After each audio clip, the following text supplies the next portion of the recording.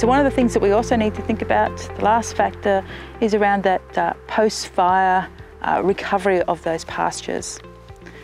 And some of those factors we need to think about is uh, how those, uh, those, those plant species recover.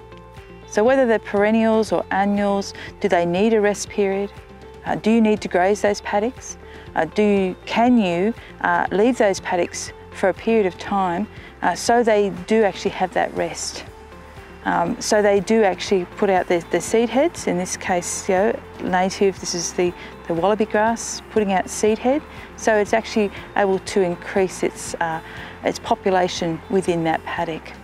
So think about assessing those pastures, so what species you might have, what you need to, to uh, maintain them or enhance them.